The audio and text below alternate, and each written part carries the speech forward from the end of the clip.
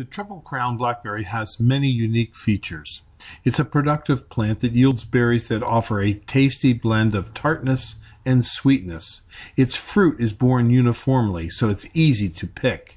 It's a thornless, semi-erect plant with canes that need support under heavy fruit load. It is a summer-bearing plant. Late in the season, heat tolerant, it ripens in early August and is self pollinating. It's good in zones 5 through 9.